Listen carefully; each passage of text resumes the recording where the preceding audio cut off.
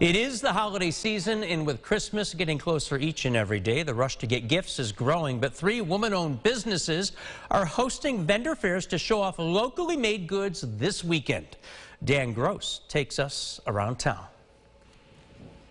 First up, the Secondhand Wonderland, hosted by the Op Shop. It's Saturday, December 4th, from 10 a.m. to 4 p.m. at the Golisano Training Center at Nazareth College.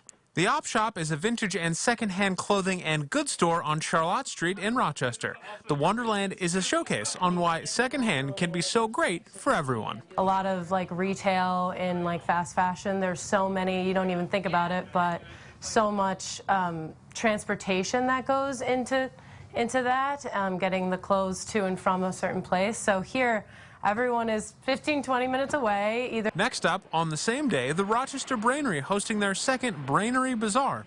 They'll have two more after that, both on Saturdays. Owner Danielle Raymo started the Brainery and the Bazaar to bring together local vendors, businesses, and even coffee brewers together for this event, and says local dollars can go very far when they stay local. When you support local artists, you're kind of keeping your money in the community and you're supporting artists and whether it's their full-time gig or their part-time gig you're supporting their you know love of what they do and, and what they make and finally on sunday at arbor at the port roc made goods a collective that hosts events for artists and artisans they're throwing a seasonal event from 12 p.m. to 4 p.m. again on Sunday. This one will have craft cocktails and a raffle too, marking the return of their sip and shop events.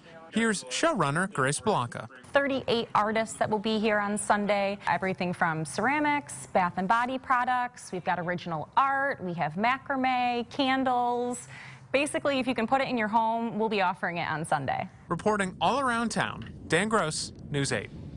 All right, Dan, thank you. To recap, the second-hand Wonderland is at Nazareth College Saturday, 10 a.m. until 4. The Brainery Bazaar also Saturday, 10 a.m. until 4 p.m.